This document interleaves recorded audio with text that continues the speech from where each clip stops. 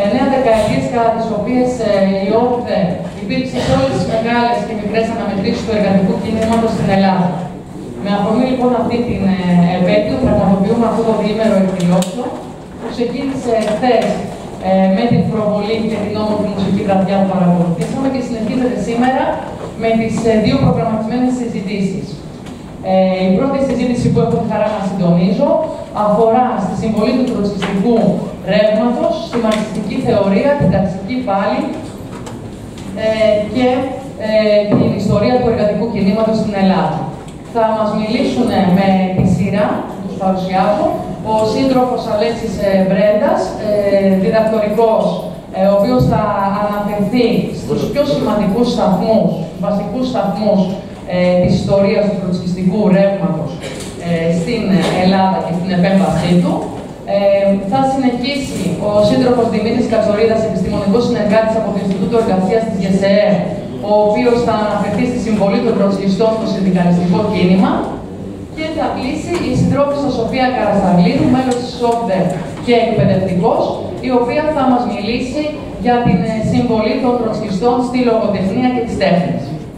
Ήταν προγραμματισμένο να μιλήσει και ο σύντροφος Νίκος Γιαννόπουλος από το Δίκτυο για τα Κοινωνικά και Πολιτικά Δικαιώματα, ο οποίο όμως δυστυχώς νοσεί με κορονοϊό, οπότε δεν ε, μπόρεσε να παραβρεθεί. Ε, όλοι οι ομιλητές έχουν από 25 λεπτά στην διάθεσή τους και στο τέλος, ε, θα, αν περισσέψει χρόνος, θα γίνουν κάποιες ε, μικρές παρεμβάσεις ε, τοποθετήσεις να ζητήσω να βάλουμε σε απόλυτη λειτουργία τα κινητά μας για να μην έτσι ενοχλούμε στη διαδικασία ε, και να ξεκινήσουμε με το σύντροφο Αλέξη.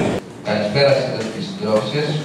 Η δικιά μου παρέμβαση θα προσπαθήσει να αποτίσει τη διαμόρφωση και τη συνεισφορά του τροσκιστικού ρεύματος και της ΟΚΔΕ στο ελληνικό εργατικό κίνημα μέχρι και την εξέλιξη του Πολυτεχνείου.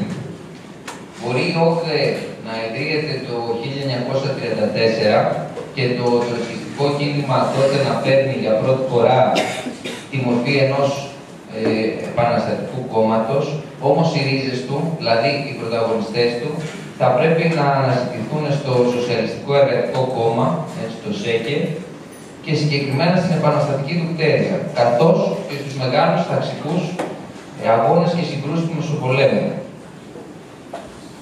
στην ομάδα Κομμουνισμός, στους πρώτους οπαδούς, δηλαδή του Λένιν Τρότσκι, που θα συγκρουστούν με τη σωρημοκρατική ηγεσία του ΣΕΚΕ, θα συναντήσουμε τον Φραγκίσκο Στουλιάτη, που θα αποτελέσει και τον ιδρυτή της οργάνωσης αρχείου του Μαρξισμού στις αρχές του 1920.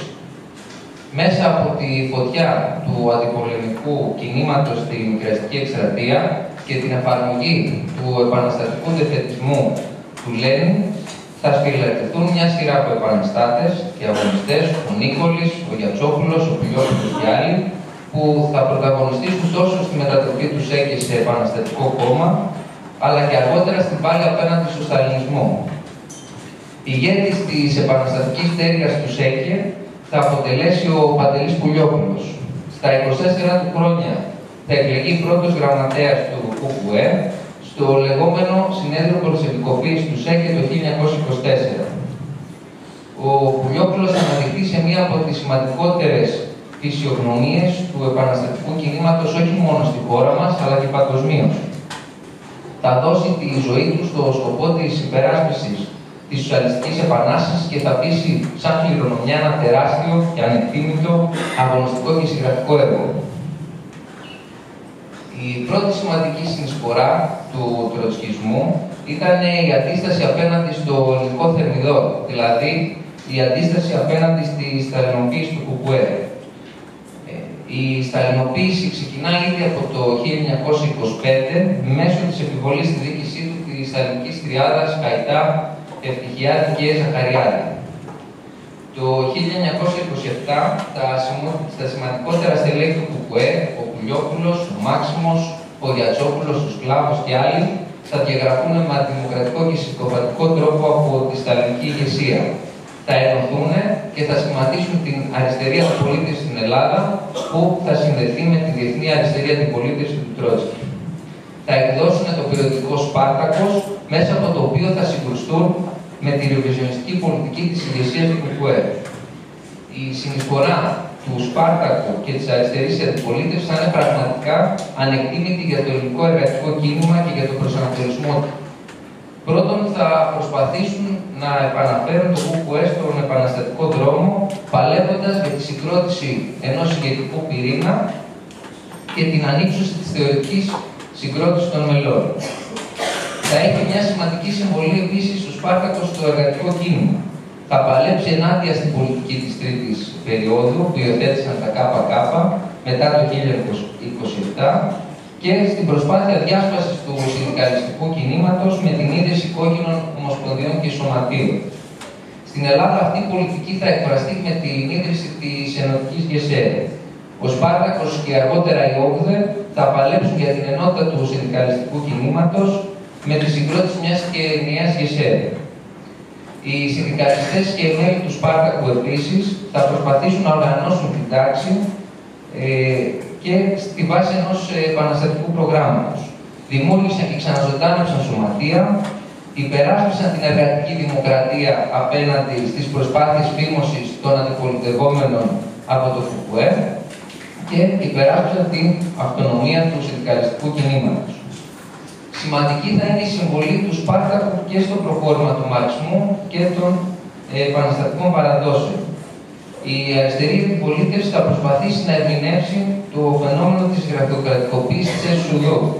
Θα μεταφράσει και θα δημοσιεύσει τα κείμενα της Διεθνής Αριστερής Αντιπολίτευσης, θα αναλύσει τις κοινωνικές και πολιτικές βάσεις του φαινομένου, θα υιοθετήσει την πολιτική υπεράσπισης της ΕΣΟΥΔΟ ως το πρώτο εργατικό κράτος και θα προτάξει ως καθήκον την πολιτική επανάσταση για να απαλλαχθεί το ρώσικο προλεταριάτο από το σταλικό καρκίνωμα. Θα προσπαθήσει επίσης να αναλύσει τον ελληνικό καπιταλισμό. Μέσα από μια σειρά άρθρων θα ερμηνεύσει την εξέλιξη της καπιταλιστικής παραγωγής στην Ελλάδα και θα αποκαλύψει την ακραία εκμετάλλευση απέναντι στην εργατική τάξη θα καταρρύψει τις τραγελαφικές θέσεις του ΚΚΕ περί φεουδαλικών καταλήπων και θα, και θα αναδείξει την αντρέωση των καπιταλιστικών σχέσεων. Επίσης, θα μεταφράσει έργα των κλασικών και θα συνδράμει στη μαρξιστική μόρφωση της εργατικής τάξης και της πρωτοπορίας της. Θα εκδώσει μια σειρά από άρθρα και προσούρες για να συγκροτήσει ε, και να προσανατολίσει την εργατική τάξη. Τέλος, ε, αλλά το πιο σημαντικό, θα υπερασπίσει το σοσιαλιστικό χαρακτήρα της Επανάστασης στην Ελλάδα και θα συγκρουστεί με τις πολιτικές ταξικής συνεργασίας που προωθούσε το Κρεμλίνο. Η σταλινική ηγεσία του ΚΚΕ ήδη από το 1925 θα υιοθετήσει τη θεωρία του σταδίου με το σύνθημα της αριστερής δημοκρατίας. Οι πολιτικές αυτές θα ολοκληρωθούν και εδραιώνονται με την περίφημη έκτη ολομέλεια του ΚΚΕ το 1934. Από την πλευρά των επαναστατών θα αναλάβει ο Παντελής Πουλιόπουλος να απαντήσει σε αυτή την προσπάθεια διαστρέβλωσης του μαρξισμού. Το 1934, λίγο μετά την Ολομέλεια, θα εκδώσει το μνημειώδες έργο του «Δημοκρατική Σοσιαλιστική Επανάσταση στην Ελλάδα». Με εργαλεία το θεωρία του υπεραλισμού του Λένιν, αλλά και τον νόμο της άνησης συνδυασμένης ανάπτυξης του Τρότσκι, θα αποδείξει ότι η οριμότητα του σοσιαλισμού δεν κρίνεται εθνικά αλλά σε παγκόσμιο επίπεδο. Συνέτρεψε τα επιχειρήματα των σταλινικών που αποτελούσαν και το υπόβαθρο για τη θεωρία των σταδίων και τις πολιτικές της ταξικής συνεργασίας που, αργότερα ε, αποκρισταλώθηκαν στα λαϊκά μέτωπα. Αντιπαράθεσε σε αυτά την πολιτική του ενιαίου εργατικού μετώπου και της σοσιαλιστικής επανάστασης. Απέδειξε επίσης την παγκοσμιότητα της σοσιαλιστικής επανάστασης ε, απέναντι στην επανάσταση σε μία μόνο χώρα των Σταλινικών. Ε, τέλος και πολύ σημαντικό, ερμήνευσε το φαινόμενο του Σταλινισμού τόσο στην Ελλάδα και στην Εσουδό και πραγματοποίησε μια ανάλυση του ελληνικού καπιταλισμού που είναι αξεπέραστη ακόμα και στις μέρες μας. Η σημασία αυτής της εργασίας ήταν και παραμένει τεράστια και, ξε, και ξεπέραστη για το εργατικό και επαναστατικό κίνημα της Ελλάδας. Ειδικά η επαναστατική πρωτοπορία και το προλεταριάτο θα ήταν πραγματικά τυφλά χωρίς αυτό το έργο ε, για να αντιμετωπίσει αυτές τις κολοσιαίες αλλαγές που θα πραγματοποιηθούν τα επόμενα χρόνια. Δεν είναι υπερβολή να πούμε ότι το έργο αυτό αποτελεί και μια αναγκαία και μια απαραίτητη συμπλήρωση της διαρκούς επανάστασης Τρότσκι για την Ελλάδα. Παράλληλα τώρα με το Σπάρτακο εμφανίζεται και η οργάνωση αρχείο του Μαρξισμού που αποτελούσε και η άλλη πολιτευόμενη ομάδα του ΚΚΕ. Η ιδρυτής της, όπως είπαμε, ήταν ο Τζουλιάτης. Εμφανίζεται για πρώτη φορά δημόσια το 1923 με την έκδοση της εφημερίδας αρχείου του Μαρξισμού. Οι αρχαιομαξιστές θα μεταφράσουν ένα πλήθος άρθρων και βιβλίων, θα συγκροτήσουν με ομάδες μελέτης, ε, με σκοπό να μορφώσουν αρκετικά την εργατική τάξη και τα μέλη τους ΣΕΙ. Θα συμβάλλουν μάλιστα καταληκτικά και στην διαμόρφωση του εργατικού κινήματος στην Ελλάδα. Πρώτον, δημιούργησαν μια σειρά από σωματεία και οργάνωσε σε αυτά σημαντικές μερίδε των εργαζομένων. Χαρακτηριστικά, το 1929 ε, βρίσκονται στη δίκηση τουλάχιστον 26 σωματείων. Ε, ανέπτυξε επίσης έντονη δράση στους εργατικούς αγώνες της εποχής, στελέχη του ηγήθηκαν στην φοιτητική απεργία στην Αθήνα το 1929. Μάλιστα θα εκμεταλλευτούν την κρίση του ΚΚΕ και θα μαζικοποιηθούν φτάνοντα το οργανωτικά. Ε, δεν είναι τυχαίο κιόλας ότι το τμήμα της αντιπολίτευσης στο ελληνικό ε, αποτελούσε το δεύτερο μεγαλύτερο μετά το Ρώσικο. Αυτό έγινε χάρη στους αρχαιομαξιστέ. Το αρχείο υπό την ηγεσία του Γιωτόπουλου, που θα αναλάβει μετά τον Τζουλιάτη, θα συνδεθεί με την αριστερή αντιπολίτευση του Τρότσκι και θα προσπαθήσει να μετατραπεί σε ένα μαζικό κόμμα. Την κομμουνιστική οργάνωση των Πολσεβίκων Λενινιστών Ελλάδος, δηλαδή αλλιώς Κομλέα. Λόγω των διαφωνιών όμως της ηγεσίας του Γιωτόπουλου με τον Σπάρτακο και τον Τρότσκι δεν θα μπορέσει να ολοκληρωθεί η ένταξή της στη δεύτερη διεθνή. Ωστόσο, μέλη του αρχείου θα συνδεθούν με τον Πουλιόπουλο και τον Τροτσικισμό και μάλιστα θα αποτελέσουν και η ηγεσία της Όγκδε μετά το θάνατο του Πουλιόπουλου. Ε, μερικά ονόματα, ο Αναστασιάδης, ο Παύλο, ο Καρλιάχτης και πολλοί άλλοι. Ε, πρέπει να πούμε ότι ο Πουλιόπουλος και η αριστερή αντιπολίτευση του Σπάρτακου ε, αρχικά θα αρνηθούν να δημιουργήσουν οργανωτικές δομές για να μην φανούν ως λιταριστές απέναντι στο κόμμα. Κάτι που θα του στοιχήσει σημαντικά σε επιρροή. Μάλιστα θα αρνηθούν οποιαδήποτε σχέση και με το αρχείο για τους ίδιους λόγους. Για μερικά χρόνια μέχρι και το 1930 δρούσαν ε, σαν αντιπολίτευση του ΚΚΕ, κριτικάροντας τη δράση του. Το 1930 θα δημιουργήσουν τις πρώτες οργανωτικές δομές και το 1932 θα πραγματοποιηθεί η πρώτη συνδιάσκεψη του Σπάρτακου. Το 1934, όταν γίνεται ξεκάθαρο ότι ο Βουλιόπουλος, ε, όταν γίνεται ξεκάθαρο συγγνώμη ότι το ΚΚΕ κατέληψε μια για πάντα την Επανάσταση, ο Σπάρτακος μαζί με άλλες ομάδες προερχόμενες από τον αρχαιομαξισμό θα ιδρύσουν την οργάνωση Κομμουνιστών Διεθνιστών Ελλάδας, την ΟΚΔΕ. Η ΟΚΔΕ έκτοτε θα αποτελέσει και την κυβωτό του μαρξισμού και των παραδόσεων της Οκτωβριανής Επανάστασης, όπως θα καταγραφεί στην ιστορία. Πρώτος σημαντικός σταθμός για την οργάνωσή μας, την ΟΚΔΕ, θα αποτελέσει ο Μάης του 36, δύο χρόνια μετά την ίδρυσή της. Ήταν η πρώτη αμφισβήτηση της αστικής εξουσίας στην Ελλάδα από το προλεταριάτο. Εκεί θα φανούν ξεκάθαρα και σε έμπρακτο επίπεδο οι δύο γραμμές μέσα στο εργατικό κίνημα που θα συγκρουστούν έκτοτε πάρα πολλές φορές. Από τη μία η προδοτική πολιτική ταξική συνεργασίας των ρεφονιστών του ΚΚΕ και από την άλλη η επαναστατική γραμμή των τροτσιστών. Οι τροτσιστές και οι θα παίξουν ένα πολύ σημαντικό ρόλο στην εξέλιξη. Θα συμμετέχουν από την πρώτη γραμμή, θα προσπαθήσουν να δώσουν στο κίνημα μία δομή, ένα σκελετό με τη δημιουργία απεργιακών επιτροπών, ομάδων περιφορούσης απεργιακών ταμείων και άλλα. Και δεύτερον, θα συγκρουστούν με την πολιτική της ταξικής συνεργασίας του ΚΚΕ που αποκρισταλώθηκε εκείνη την περίοδο με το σύμφωνο Σκλάμενα Σοφούλη που οδήγησε και στην προδοσία της εξέλιξη. Οι τροτσκιστέ θα προσπαθήσουν με όλες τις δυνάμεις να μετατρέψουν την απεργία σε πανεθνική, ώστε να προωθεί η επαναστατική κρίση σε όλη τη χώρα. Προχωρώντας τώρα στο δεύτερο παγκόσμιο πόλεμο, με την έναρξή του ανοίγει ένα νέο και σύγχρονο δύσκολο και εύδοξο κεφάλαιο για τον τροτσκισμό και την όπλα. Παρά τις μικρές τους αριθμητικές τους δυνάμεις, οι τροτσιστέ, ε, τις εκαθαρίσεις, τι διώξεις από το αστικό κράτος των δοσύλλογων, τους φασίστες, τις εκαθαρίσεις του όπλα ΚΚΕ, οι τροτσκιστές με αυταπάρνηση θα κρατήσουν ψηλά για ακόμα μία φορά το λάβαρο της Επανάστασης. Θα προσπαθήσουν να δείξουν τον δρόμο στο ελληνικό εργατικό κίνημα και στην κάθε είδους τοπολογιά. Αρχικά θα συγκρουστούν με τους Σταλινικούς για το χαρακτήρα του πολέμου.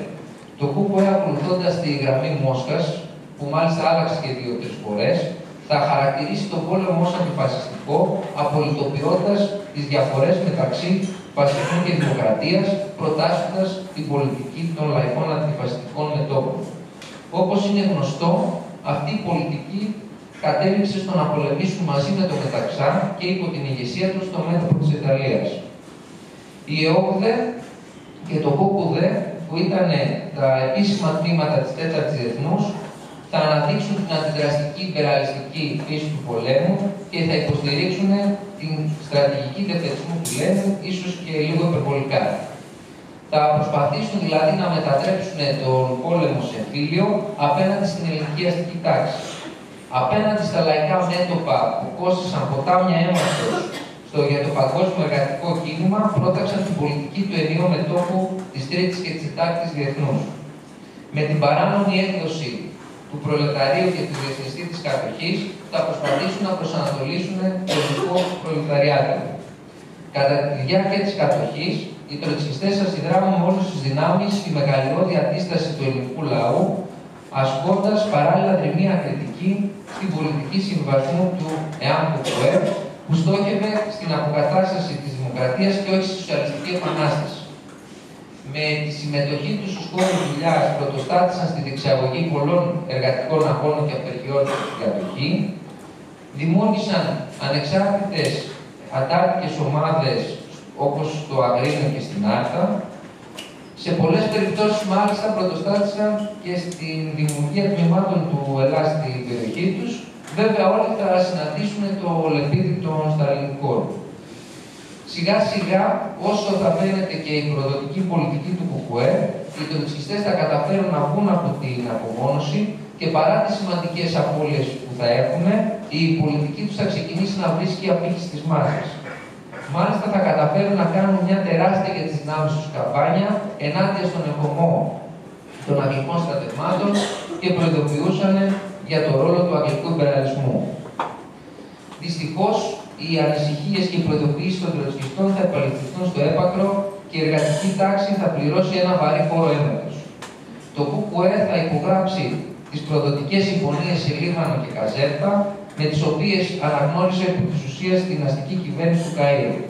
Συμμετείχε με τέσσερις υπουργούς στην κυβέρνηση Εθνικής Ενότητας και θα καλωσορίσει τους υπουργούς και θα καλωσορίσει, συγγνώμη, τους άκρου υπεραλιστέ ως απελευθερωτές. Όταν η αστική τάξη και ο Σκόμπιλ ανέδειξαν τους πραγματικούς τους σκοπούς, το ελληνικό προλεταριάτο αντέδρασε συμμετέχοντας παραλλαδικά στην απεργία 3 Δεκέμβρη του 1944 που κήρυξε η Σταλική Εκκλησία. Οι Άγγλοι, μαζί με τους ταγματασφαλίτε που είχαν επιστρέψει στις θέσεις τους, κατέσπαξε τη διαδήλωση με τα τάγματα του Ελλάς να μην φέρνουν στην Αθήνα με το του Κουκουέ. Οι τροτσκιστές, παρά την εναντίωσή τους με το ΝΕΑΜ και την πολιτική του ΚΚΕ, θα πάρουν μέρος στην εξέγερση από την πρώτη γραμμή. Πολλοί τροτσκιστές πολέμησαν στα οδοπράγματα του Δεκέμβρη, αψηφώντας όχι μόνο τα τάξη των Εγγλέζων και των φασιστών, αλλά και τις πισόπλατες φέρες των Σταλικών. Τότε είναι που θα δολοφονηθούν και οι περισσότεροι τροτσκιστές.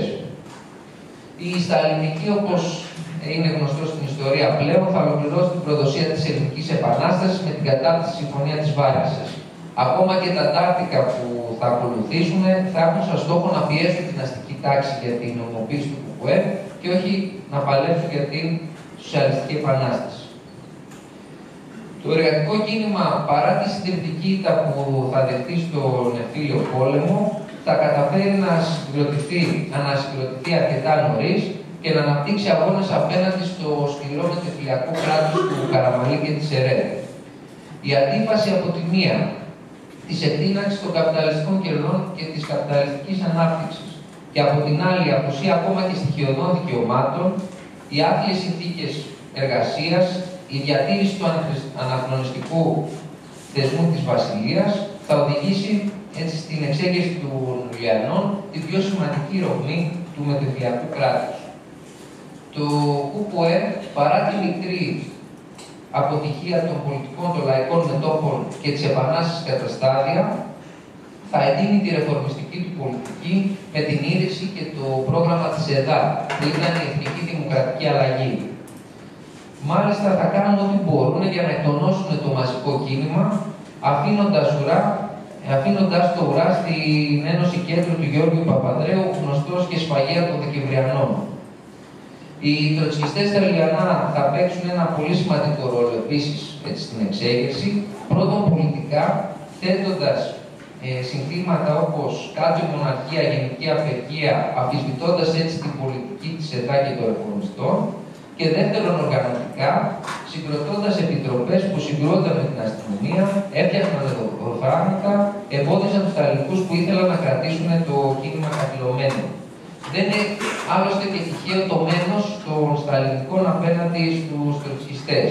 Χαρακτηριστικά, ο Μίκης Θοδωράκης, ο πρόεδρος του Λαμπράκηδων, έγραψε ένα άρθρο πυρκαγιές της ασφάλειας, ούτε λίγο πολύ χαρακτήριζε τους τροτσκιστές ως αφιέδες που ευθύνονται για τα συγκρούσεις. Ε, ο αγώνας των μαζών ε, οδηγήθηκε σε αδιέξοδο ε, με ευθύνη του ΚΚΕ και αυτή η υποχώρηση θα δώσει και τη δυνατότητα στην αστική τάξη και τους υπεραλιστές να επιβάλλουν και τη Κούντα το συνταγματαρχό το 1967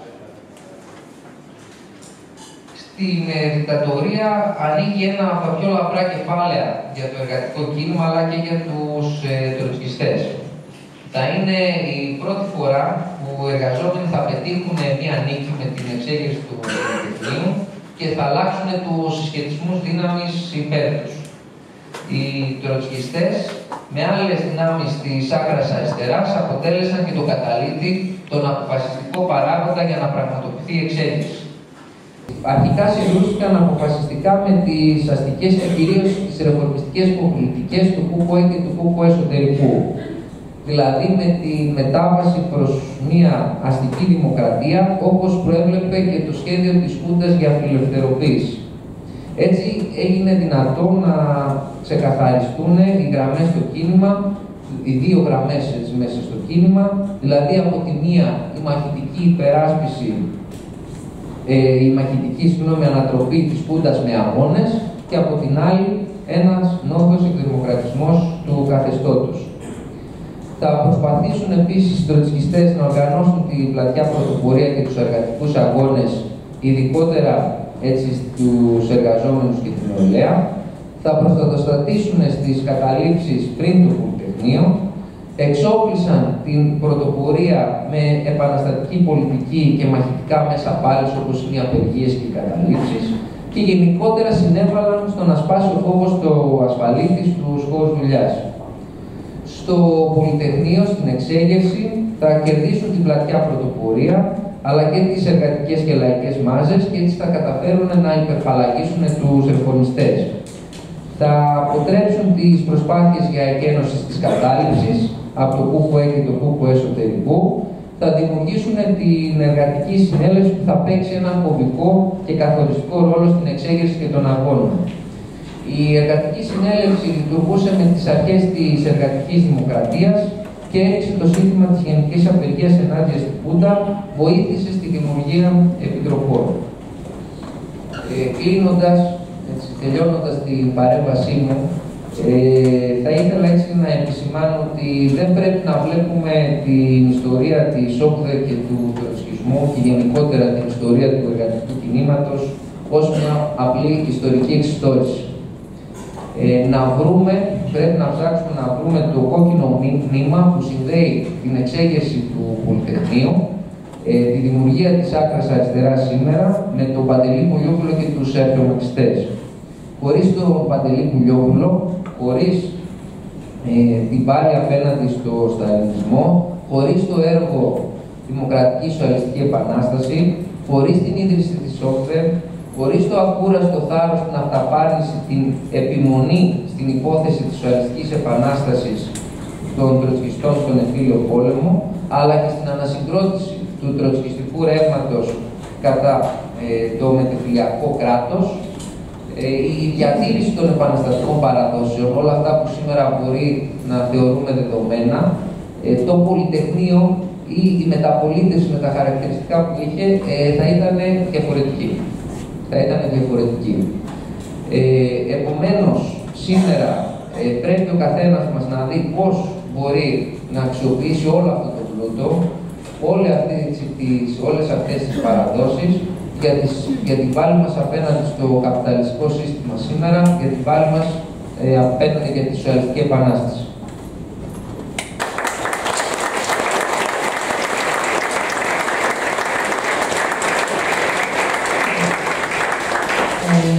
Να ευχαριστήσουμε τον σύντροφο Πανίτη και να δώσουμε το λόγο στον σύντροφο Δημήτρη Κατσορίδα, επιστημονικό συνεργάτη του ΙΝΕ της ΓΕΣΕ, για να μας μιλήσει για τη συμβολή των τροσκιστών στο συνδικαλιστικό κίνημα.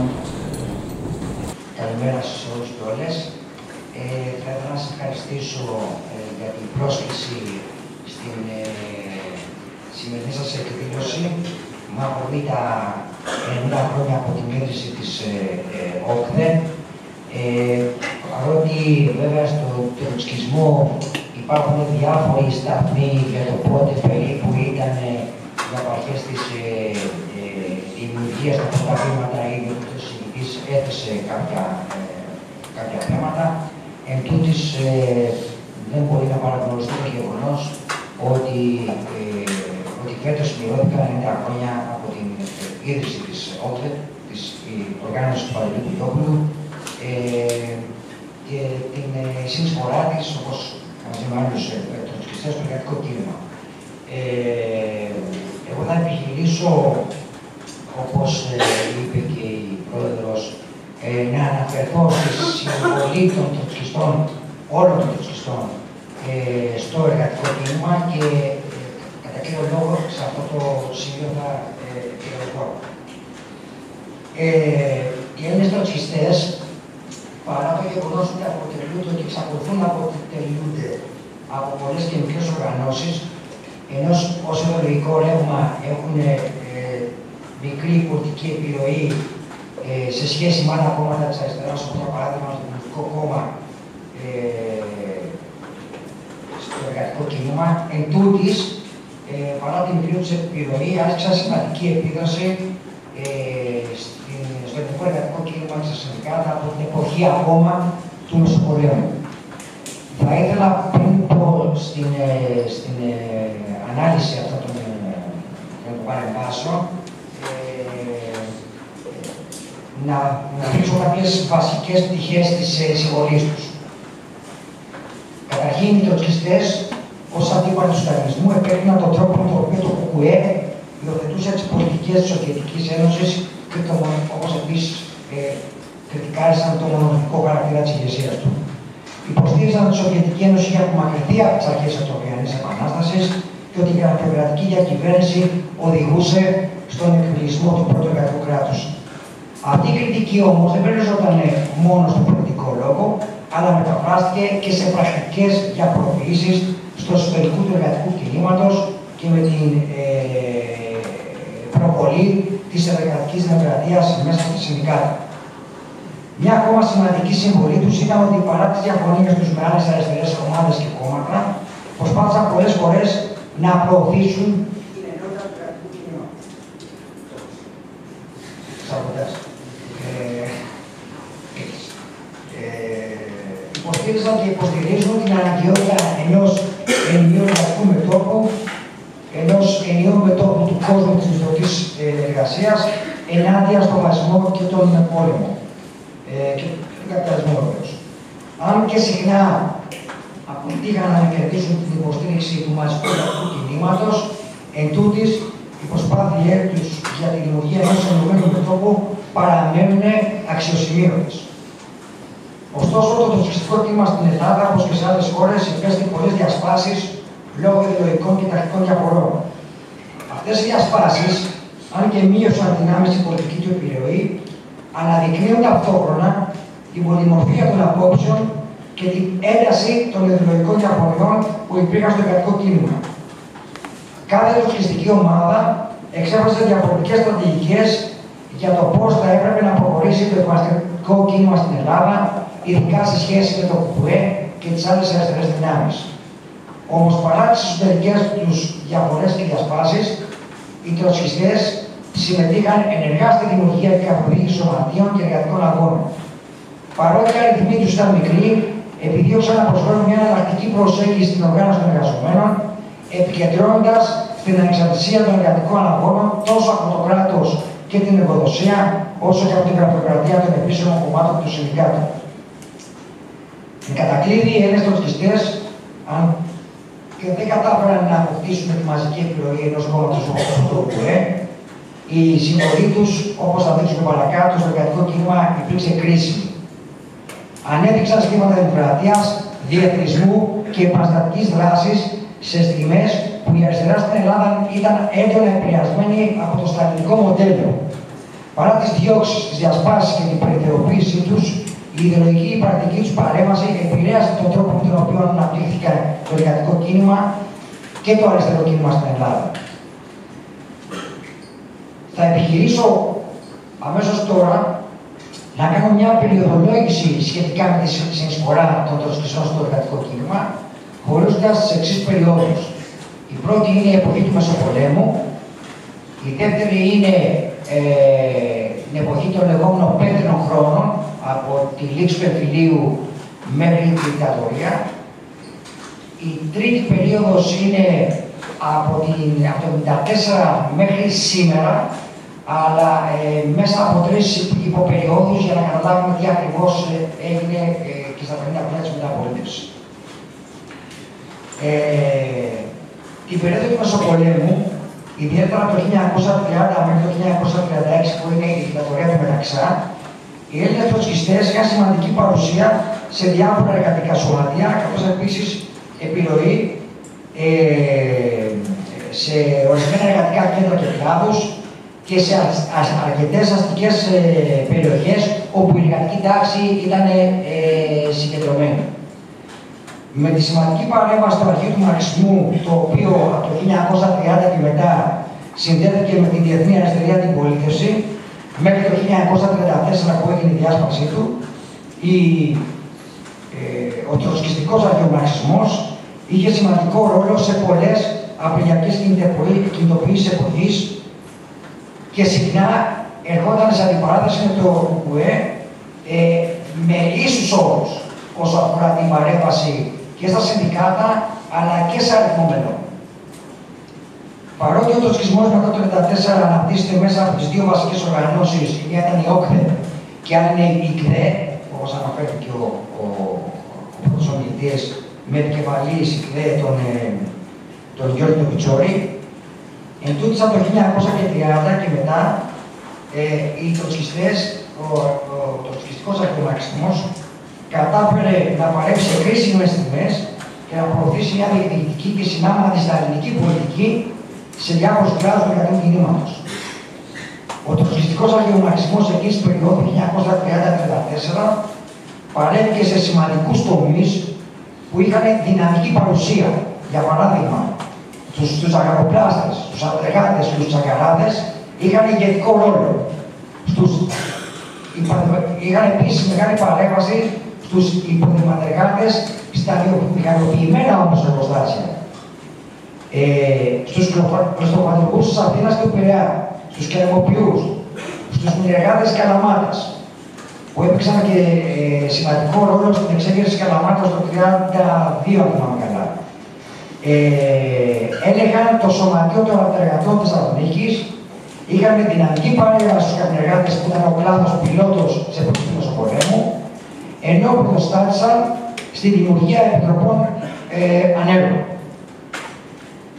Στην διάσπαση της αρχιμαρξική οργάνωσης Κομλέα, όπως λέγονταν τότε, κομμουνιστική οργάνωση των Προσωπικών Ελληνιστών Αρχιμαρξιστών, που έγινε το 1934, όπως είπα, η αμυγός προσκλητική της πτέρυγα με επικεφαλής τον Γιώργο Πιτσόρη και την νεοδεθήσα ΚΔΕ επικράτησαν στους αγροπλάστε, διατήρησαν μεγάλες δυνάμεις στους αρτεγάτε, ενώ σημαντική επιρροή στους σιδηροδρομικού, κλωστοπατρικού και τροχιδοδρομικού που ήταν οι νέοι ανεργόμενοι εξυγχρονισμένοι κλάδοι του εργατικού κινήματος. Τέλος, να πούμε ότι για την εποχή του Μεσοπολέμου, τόσο η ΟΚΔΕ όσο και η ΚΔΕ συμμετείχαν αποφασιστικά στην εργατική εξέγερση του Μάη του 1936 Ε, Κλείνοντας εντάχει την ε, μεσοπολεμική περίοδο και την παρέμβαση των τροσχιστών εκεί, τα πιάνω πολύ επιτελικά γιατί έχουν γραφτεί ε, πολλά βιβλία. Ε, Σας προτείνω να διαβάσετε ανεπιφύλακτα το βιβλίο του Παλαιόκη για τους ε, αρχαιομαξιστέ ή άλλοι γνωστέ του πολεμικού που εκεί εκτεταμένα, πολύ εκτεταμένα και πολύ αναλυτικά δείχνει την παρέμβαση του τροσχιστικού αρχαιομαξισμού εκεί την, ε, ε, την, την περίοδο. Κατά τη διάρκεια της διατορία του μεταξύ 36-41, πολλοί από τους ηγέτες των τροσχιστών διώχθηκαν και εξορίστηκαν, όπως επίσης και πολλά μέλη τους. Στην κατοχή 1941-44, οι επίσημε τροσχιστικέ οργανώσει, αν και δεν συμμετείχαν με οργανωμένο τρόπο στο ελληνικό κίνημα, εν τούτης, ε, αντιστάθηκαν με άλλους τρόπους. Ε, δεν θα αναφερθώ στις διάφορες αποτιμήσεις που έχουν γίνει για το αν θα έπρεπε οι τοξιστές να συμμετέχουν ή όχι στο ελληνικό κίνημα, στις διαφορές που υπήρξαν μεταξύ της ε, οργάνωσης του Πιλόπουλου και της οργάνωσης του Στίνα, τις συζητήσεις που γίνανε μες στην ακροναυπία, ε, γύρω από τον χαρακτήρα της κατορίας του Μεταξά, της, το εργατικό κίνημα, το χαρακτήρα της Σοβιετικής Ένωσης κτλ. Ας πούμε. Ε, γιατί ε, υπάρχει μια πλούσια ε, συζήτηση και πολλές φορές αντιπιθέμενη γύρω από αυτό. Θα το παρακάνω σε αυτό το σημείο ε, για να πω ότι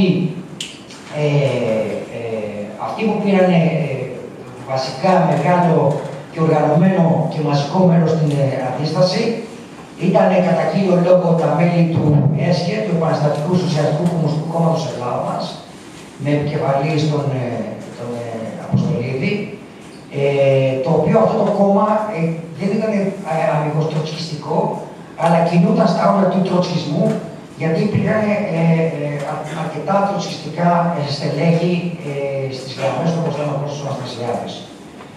Ε, το εν λόγω κόμμα, μάλιστα, το ΕΣΚΙ έχεις ζητήσει να συμμετέχεις στο ΕΑΜ ως ένα από τα κόμματα που τα πατήσανε, όμως η ηγεσία του ΚΚΕ πρόβαλε βέτο και αρνήθηκε την ένταξή του.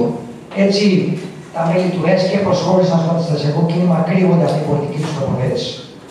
Επίσης, θετική στάση στο κίνημα αντίστασης κράτησαν και αρχειομαρξιστές, οι οποίοι προσχώρησαν και μαζικά στο ελληνικό κίνημα και στον ΕΛΑΣ και έτσι έγιναν και εύκολο θύμα της επιθετικότητας ηγεσίας του ΚΚΕ. Όμως, παρά διαφορετικές αποτιμήσεις σχετικά με την συμμετοχή ή όχι των τροσκιστών ε, στο αντιστασιακό ελληνικό κίνημα, παρότι κατά μόνας αρκετά στελέχη των τροσκιστών προσχώρησαν, όπως για παράδειγμα ο, ο Βερούχη, ο Κάρλο Βερούχη, ο οποίος είχε και εκλεγεί και εθνοσύμβουλος στην ΠΕΑ και τον προχώρησαν κάποια διαφθαμμένα στελέχη του, του πριν προλάβει να πάει. Και μάλιστα είχε προτείνει να φτιαχτεί και το συστηματικό αντάστοιχο σε να επιλεγεί μια συγκεκριμένη περιοχή, δηλαδή να συγκεντρωθούν δυνάμεις και να φτιαχτεί το, το συστηματικό αντάστοιχο. Παρά λοιπόν τις διαφορετικές αποτιμήσεις σχετικά με τη συμμετοχή ή μη των τροτσικιστών στο ελληνικό κίνημα, εν τούτης οι τροτσικιστέ παρέμειναν πιστοί στι διεθνιστικέ του αρχέ, πολεμώντας ενάντια σε κάθε μορφή εθνικισμού, όπως και στο επίπεδο του ενώ συμμετείχαν στην κινητοποίηση περίοδου, έσπασαν αποθήκες μαυραγωγικών και μοίραζαν τρόφιμα στο λαό, έγραφαν στους τοίχους συνθήματα, μοίραζαν προκηρύξεις στους Γερμανούς στρατιώτες για ταξική συμφιλίωση ε, μεταξύ ε, Γερμανών και νέων κρατών και άλλα τέτοια. Και ερχόμαστε στην περίοδο, περίοδο των πέτρινων χρόνων ε, 1949-1974. Από το 1946 έως το 1967 και ως και στην Ελλάδα αντιμετώπισαν μεγάλες δυσκολίες στην προσπάθειά τους να ασκήσουν επιρροή στο εργατικό κίνημα λόγω των πολιτικών διώξεων, της καταστολής του εμφυλίου πολέμου, της μεταφυλιακής εποχής αλλά και της κυριαρχίας του Κομμουνιστικού Κόμματος μέσω της ΕΔΑ. Ωστόσο, παρότι ήταν μειοψηφικό ρεύμα, κατάφεραν να διατηρήσουν παρουσία σε, ε, σημαντικά, σε ορισμένα σημαντικά εργατικά σωματεία και να παρέχουν σε κρίσιμες περιόδους. Το επίσημο κόμμα, το Κομμουνιστικό Διεθνιστικό Κόμμα Ελλάδα, το Τμήμα της Διεθνού, και τα μέλη του εργάστηκαν για την ανασυγκρότηση του εργατικού κινήματος. Συμμετείχαν ενεργά στο κίνημα ελεύθερου συνδικαλισμού το 1949, που είχε δημιουργήσει ο παλιός σοσιαλιστής και στέλεχος του εργατικού συνδικαλιστικού κινήματος Δημήτρης Στρατή, καθώς επίσης συμμετείχαν και στο δημοκρατικό συνδικαλιστικό κίνημα το 1955 με αντιπρόσωπό τους τον Λάζαρο Τορνόπουλο, ο οποίος ήταν τσαγκάρι στο επάγγελμα και συνδικαλιστή και στη διοίκηση του σωματείου των υποδημαργατών. Η πλειονότητα των μελών του, του ΚΕΣ, του Κινήματος Ελευθερού Συνδικαλισμού, ήταν σοσιαλιστές και τροσκιστέ. Το 1955 το ΚΕΣ ενοποιείται με το Εργατικό Συνδικαλιστικό Κίνημα Ελλάδας, που ήταν συνδικαλιστική παράταξη της ΕΔΑ, που είχε ιδρυθεί το 1950, και έτσι από αυτή την ενοποίηση συγκροτείται το Δημοκρατικό Συνδικαλιστικό Κίνημα. Το ΚΔΟΥΠΕ με πρωταγωνιστές τον Λιγκεράτο και τον Δάλα Βάκα συμμετείχαν στην ίδρυση του Σοσιαλιστικού Συνδέσμου Νέων, που μέλη του έγιναν και νέοι συνδικαλιστές της εργατική θέλησης. Οι περισσότεροι ήταν τροτσιστέ και σοσιαλιστές. Μια σημαντική πτυχή στο Σοσιαλιστικό Σύνδεσμο Νέων είναι ότι εκτός από τους διανοούμενου συμμετείχαν και αρκετά συνδικαλιστικά στελέχη, ε, όπως ο Γιάννης Περούχη, ο Γιώργος Βασάλος, ο Νίκος Γιαννουλέα, ο Θόδωρος Αλαβαντινό, ο Γιώργος Κατσαρλίνος, ο Γιώργο Δαδαπάκα, ο ίδιος ο Λιβιεράτο και πολλοί άλλοι ακόμα. Αυτά είναι το στελέχη. Το μεγαλύτερο μέρος αυτών που συμμετείχαν σε συνδικάτα ήταν οργανωμένο σε συνδικαλιστικές ομάδες που συνεδρίαζαν χωριστά. Επιτρέψτε να σας παρουσιάσω κάτι που λέει ο ίδιος ο Λιβιεράτο μέσα από την εμπειρία του για την εποχή ε, και την παρέμβαση στα συνδικάτα. Λέει ο ίδιο. Θυμάμαι την Ομοσπονδία Χάρτου που συμμετείχαν όλοι αυτοί στο Σοσιαλιστικό Σύνταγμα Νέων. Λιθογράφους, βιοτέτε, τυπογράφους, συνταξιούχους που εξέδωσαν και την εφημερίδα εργάτη τύπου και χάρτου, οδηγούς και σπάχτου λεωφορείων, οικοδόμους, μπεκατσίδε, σοβατσίδε, μποκατσίδε, μανομανάδε κλπ. Τσακαράδες, ραφτάδες, ξυλουργούς, ξενοδοχοϊπάλλου κλπ. Να σημειώσουμε ότι κοντά στους νέους έπαιρναν μέρο στι ευρύτερες συνδικαλιστικές παρατάξεις και εργάτες υπάλληλοι μεγαλύτερη ηλικία. Μερικές παρατάξεις με τη βοήθεια του συνδέσμου εξέδωσαν έντυπα, πολυγραφημένα δελτία. Σε πολλά σωματεία παρατάξεις κέρδισαν έδρες ακόμα και διοικήσεις, όπως ένας στους υπογράφους και άλλα σωματεία του τύπου. Επίσης, στην Ομοσπονδία από μια περίοδο έγινε γραμματέας ο Γιώργης Χατζής, ήταν ενεργό μέλος του συνδέσμου, δηλαδή στην Ομοσπονδία του Υπογράφου. Στα οικονομικά σωματεία που επέβαλαν το, το αναλογικό εκλογικό σύστημα και κέρδισαν, κέρδισαν την πλειοψηφία στους πετατζίδε. Επίσης, στην Ομοσπονδία Ξύλου, που παράταξη, ε, όπου η παράταξή τους κέρδισε ε, πολύ κόσμο, όπως ε, όπως και στην Ομοσπονδία Εξήλου. Μεταξύ των παλαιών συνδικαλιστών που προερχόντουσαν στις παρατάξεις του συνδέσμου ήταν ο Λάζαρος Κοτρόπουλο, παλιή συνδικαλιστή, ο Ηλίας Κοσμίδης, ο Κλεάνος Επαπής και άλλοι. Δεν είναι τυχαίο ότι στις 10 του Μάη του 1953 δημιουργείται και η Συνδικαλιστική Παράταξη Εργατική Δημοκρατία, της οποίας στο καταστατικό έγραψε ο Δημήτρης Φιγεράτος. Στην αρχή γραμματέας παράταξης ήταν ο δικηγόρος Ευάγγελος Κυριακόπουλος και το 1958 έγινε γραμματέας της ο ίδιος ο Φιγεράτος. Για τους συνδικαλιστές δε γινόταν ιδιαίτερες διαλέξεις με θέμα πώς μιλάμε, πώς διαβάζουμε, πώς γράφουμε. Μπορείτε να φανταστείτε αγαπητοί συλλόγισε τι εξαιρετική δουλειά γινόταν με τους ανθρώπους. Δηλαδή μαθήματα για το πώς θα παρέχουν αυτοί οι νέοι συνδικαλιστές, γιατί παλιοί είχαν την ίδια, στα εργατικά συνδικάτα. Πώς μαθαίνουμε να μιλάμε, να διαβάζουμε και να γράφουμε, δηλαδή να γράφουμε να κάνουμε μιλίε. Οι τροσχιστέ επίσης δραμάτισαν και ενεργό ρόλο στα απεργίες των οικοδόμων του 1961, στο κίνημα των 115 συνεργαζόμενων κατοπολικών οργανώσεων, το οποίο δημιουργήθηκε το Φλεβάρι του 1962, καθώς επίσης και στα Ιλουμινά του 1965. Εν κατακλείδη, από το 1916 έως το 1967, οι Έλληνες τοξιστές μπορεί να μην κατάφεραν να αποκτήσουν την μεγάλη επιρροή στο εργατικό κίνημα, λόγω των πολιτικών διώξεων και της κυριαρχίας της ΕΔΑ, ωστόσο είχαν σημαντικές δυνάμεις σε συνδικαλιστικούς χώρους, όπως στους υπογράφους, στην Ομοσπονδία Τύπου, στους οικοδόμους, στους λογιστές, στην Ομοσπονδία Αξίου, στους Ακαράδες, στους Νοτύπες, στους Λοθέτες, στους Μηχανικούς και αλλού. Η ηλικιακή σύνδεση ήταν νεαρής ηλικία, ενώ η κοινωνική σύνδεση των τουριστικών οργανώσεων και κυρίως του που έπαιρνε το επίσημο τμήμα του Διεθνού ήταν κατά βάση εργατική. Δεν είναι τυχαίο αυτό. Και ερχόμαστε με τα, με τα πολιτευτικά χρόνια. Τονίστηκε και και από τον προηγούμενο ομιλητή το σημαντικό ρόλο των τροτσιστών στην εξέλιξη του υποθετικού του 1973 με τη σημαντική συμβολή τους που προστάτησαν στη δημιουργία της Εργατικής Συνέλευσης, η οποία επί της ουσίας αποτέλεσε το κέντρο εξέγερσης, συμβάλλοντας καθοριστικά στην ηγεμονία της ουσιαστική γραμμής στη Χρυσή με την Χούντα. Από το 1974 μέχρι το 2024, η συνεισφορά των Ελλήνων των στο κρατικό κύμα μπορεί να αναλυθεί σε διάφορες φάσεις με, με βάση τις πολιτικές, οικονομικές και κοινωνικές εξελίξεις που σημάνισαν όλη αυτή την περίοδο. Παρότι πάλι δεν αποτέλεσαν πλειοψηφικό ρεύμα στο εργατικό κίνημα, οι δράσεις και οι ιδέες τους επηρεάσαν σημαντικά ε, τις εξελίξεις σε ορισμένα κομβικά ζητήματα της εργατικής και αριστερή πολιτικής κοινή. Αυτά που θα αναφέρω παρακάτω ε, με βοήθησαν ε, πολλοί τρεις σύντροφοι ε, από τρει οργανώσεις τοξιστικέ που ήταν πιο μεγάλες στον, στον χώρο. Ο, ο σύντροφος ο σύντροφος ο Φράνσο Παπαδόπουλος που έδωσε πληροφορία, ο Θόδωρος Τσουπό που ήταν τότε στην ΕΔΕ, το μετέπειτα ΕΚ, και ο Θόδωρος Ομαράκη που ήταν στην ομάδα ξεκίνημα. Ε, εννοώ για την παρέμβαση τους εργασιακού χώρους που αναφέρω. Μετά την πτώση της δικτατορίας το 1974, η πολιτική ζωή της χώρας αναδιαμορφώθηκε με την άδο των δημοκρατικών θεσμών και την ανάπτυξη νέων κοινωνικών και εργατικών κινημάτων. Σε αυτή την περίοδο, οι τροτσιστέ βρήκαν ένα ανανεωμένο χώρο παρέμβασης, κυρίω μέσα από την ενίσχυση της πολιτικής και συνδικαλιστικής δραστηριότητας. Πρωταγωνίστηκαν στο εργατικό και στο εργοσιακό κίνημα της περίοδου 1974-1977, συνέβαλαν σε μαχητικέ συγκρούσει 25 Μάη 1976 με επικεφαλή σκοτώνου, υπερασπίστηκαν αγωνιστές που συγκρούστηκαν με τον αντεργατικό νόμο 330 του 1976, ενώ κατάφεραν αμέσως κάποιο συνδικάτων όπω είναι η υπογράφη, η Νέα Σονακά, η Εσχημό κλπ.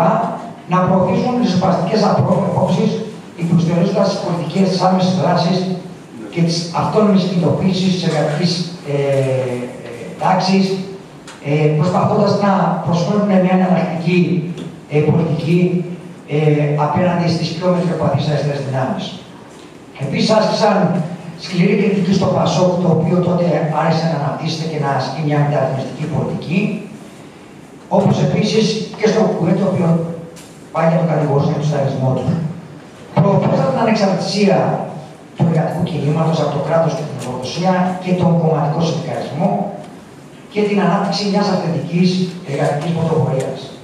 Με την άδεια του Πασόκ το 1981 στην εξουσία και τις σημαντικές κοινωνικές μεταρρυθμιστικές αλλαγές που προκλήθηκαν, έφερε νέες προκλήσεις για τους τοξιστέ. Κατά τη διάρκεια του κειμένου του Πασόκ, οι τοξιστέ ήταν στην πρώτη γραμμή της κριτικής ενάντια στην αστικοποίηση πολιτικής του κόμματος, υποστηρίζοντας ότι οι υποσχέσεις του Ανδρέα Παπαντρέου για τον σοσιαλισμό δεν υλοποιήθηκαν και ότι το κόμμα λειτουργούσε πλέον ως φορέας αστικής πολιτικής. Οι τροσχιστέ συμμετείχαν σε απεργιακέ κινητοποιήσει που ωστόσο την ανάγκη για αυξημένες κοινωνικές και εργασιακές κατακτήσεις απέναντι στην κυβέρνηση, στην κυβέρνηση του Πασόκ. Αρκετές φορές οι τροτσκιστές συνεργάστηκαν με άλλες αριστερές δυνάμεις για τη δημιουργία ενιαίων μετώπων στον αγώνα για καλύτερες συνθήκες εργασίας, ενώ είχαν σημαντική επιρροή στις λεγόμενες προβληματικές επιχειρήσεις, κυρίως η ομάδα Ξεκίνημα, που λειτουργούσε τότε στο Πασόκ, μέσω της ΒΕΡΚΑ, του Σωματείου Μιχαηλίδη, της Όφεξ, της Μπρεσάικ, της Μπρεξάικ, της Εγωτό και τέτοια αλλού. Επίσης είχαμε δυνάμεις στις τράπεζες, στην Ολυμπιακή Αεροπορία, του ασκητέ, στα νοσοκομεία, στου εκπαιδευτικούς, των ιδιωτικών σχολείων, δηλαδή δηλαδή και αλλού. Η δεκαετία του 1990 και 2000 ήταν αυτές δύο δεκαετίες που ουσιαστικά έχουμε την επικυριαρχία του νεοφιλελευθερισμού. Αλλαγή της γεωπολιτικής σκηνής, κατάρρευση της Σοβιετικής Ένωση επικράτηση των ελευθερών πολιτικών. Οι τροτσιστέ διαλαμβάνησαν ενεργό ρόλο στην κινητοποίηση ενάντια στις πολιτικοποιήσεις που οθήθηκαν τόσο από την κυβέρνηση της Νέας Δημοκρατίας όσο και από τον, ε, και από τον, ε, και από το ΠΑΣΟ. Ε, αν και παρέμειναν μεταξύ τους διαχωρισμένοι, αλλά και σε πολλές οργανώσεις, ετούτε πολλές φορές συνεργάστηκαν και μεταξύ τους αλλά και με άλλες αριστερές ομάδες σε κοινές δράσεις ε, ε, ενάντια στον επιλεκτρισμό. Για παράδειγμα, η οργάνωσή σας, το γράφετε και στα έντυπά σας, πρωτοστατεί το 1990 στην κατάληψη του Υπουργείου Βορείου Ελλάδας, καθώς και στο σπάσιμο της απαγόρευσης πορείας στην ΤΕΠ το 1993. δεκαετία του 2000 έχουμε την άνοδο του αντιπαγκοσμιοποιητικού κινήματος, ε, την κρίση που ξέσπασε διεθνώς και κορυφώθηκε στην Ελλάδα το 2001-2010 με την κρίση ε, χρέους. Οι Έλληνες τοξιστές συμμετείχαν ενεργά στο αντιπαγκοσμιοποιητικό κίνημα, όπως επίσης και στις διαδηλώσεις του 2004 στη Θεσσαλονίκη, μετά τότε που η Ελλάδα έχει την Προεδρία, έτσι, αυτό τονίζω το 2003. Και ερχόμαστε λοιπόν και κλείνω στην ε, εποχή των μνημονίων και στη μεταμνημονιακή εποχή. Πάλι βρέθηκαν στην πρώτη γραμμή του αγώνα οι τροσκητές, συμμετείχαν στις βασικές διαδηλώσεις του 2010-2012 και ασκούσαν κριτική στις κυβερνήσεις και της Νέας Δημοκρατίας και του ΠΑΣΟΚ, αλλά και στις μετροπαθείς θέσεις του ε, ε, ΣΥΡΙΖΑ. Ε, με την οποία άσκησαν ε, σημαντική κριτική ε, και στην κυβέρνηση του ΣΥΡΙΖΑ 2005-2015-2019.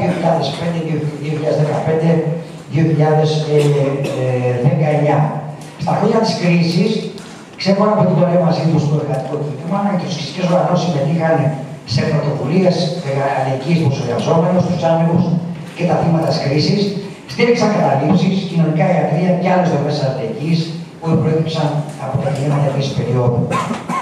Η πανδημία ήταν μια νέα πρόκληση ε, για τους εργαζόμενους αλλά και για τους ε, Ε, κατά τη διάρκεια της δραστηριοποιήθηκαν ιδιαίτερα στο τομέα της υγείας, στηρίζοντας κινητοποιήσεις των υγειονομικών και τη στήριξη ενός δημοσίου συστήματος υγείας ενάντια σε εκτός ειδικοποίησης, προώθησαν την ανάγκη για μαζικές προλήψεις υγειονομικών και την ενίσχυση της περίπτωσης και επειδή, όπως θυμάστε, ε, την εποχή του COVID ε, αυξήθηκαν οι μορφές εργασίας και ευρύτερες μορφές απασχόλησης, ήταν ένα νέο πεδίο δράσης για τους τοξιστές, οι οποίοι προσπάθησαν να ενώσουν τους εργαζόμενους ενάντια σε αυτές τις επιθέσεις, όπως επίσης τους τομείς, ε, στους νέους τομείς που έχουν να κάνουν με την κινητή τηλεφωνία ε, ε, και αυτές τις νέες μορφές ε, πληροφορικής. Κλείνοντα λοιπόν, ως ένα γενικό συμπέρασμα, από το 1974 μέχρι το 2024, οι Έλληνε τοξιστέ μπορεί να παρέμειναν ε, μειοψηφικό ε, ρεύμα, αλλά είχαν ενεργό ρόλο στο κρατικό κίνημα, προσπαθώντας να προωθήσουν διαχειριστικέ και επαναστατικές θέσεις απέναντι στον αστισμό και στον αρισμό. Ε, κατάφεραν να έχουν σημαντική παρουσία σε σωματεία και σε κλάδους, ε, και να περαστούν σημαντικούς ε, αγώνες ε, από, από τα πλαίσια της απολύτησης μέχρι τα χρόνια του ελευθερισμού και της ιδιωτικοποίησης. Η ιστορία του ελληνικού τροσκισμού ακόμα δεν έχει γραφτεί. Υπάρχουν βέβαια σκόρπια αποδείγματα, αλλά συνολικό έργο δεν υπάρχει. Ω ένα πρώτο γενικό συμπέρασμα βγαίνει ότι αν η πρώτη περίοδος του Μεσοπολέμου ήταν η φάση οριοθέτηση του ελληνικού τροσκισμού και τη θεωρητική του αποσαφήνιση, η περίοδος 1946-67, κυρίως μέσω του Πιτοκουλέ, που ήταν το μεγαλύτερο, η μεγαλύτερη οργάνωση, ήταν ουσιαστικά η προσπάθεια εφαρμογής αυτών των απόψεων του Μεσοπολέμου στο μαζικό κίνημα. Ενώ η περίοδος της μεταπολίτευσης λειτουργήσε μάλλον αποσπηρωτικά για, τον, για την ενότητα των σκιστικών οργανώσεων παρά τη σημαντική συμβολή του στο εργατικό κίνημα στην αριστερά. Καθ' όλη αυτή την περίοδο από το Μεσοπόλεμο μέχρι το 2024, οι πυρήνες των τοξιστικών οργανώσεων δεν έβαψαν ποτέ να λειτουργούν.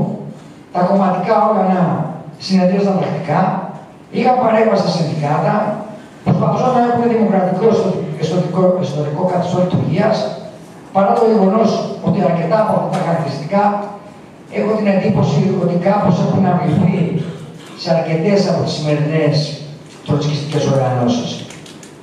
Κλείνοντας, αν επιχειρούσαμε να χαρακτηρίσουμε με μία λέξη τη συμβολή του τροτσκισμού στο εργατικό κίνημα, αυτή κατά τη γνώμη μου θα, χαρακτηριζόταν με το πνεύμα και τη λέξη της συνέπειας.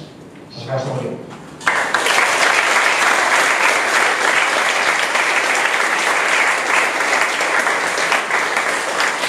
Να ευχαριστήσουμε πολύ τον Σύντροφο Δημήτρη Κατσορίδα, να υπενθυμίσουμε εδώ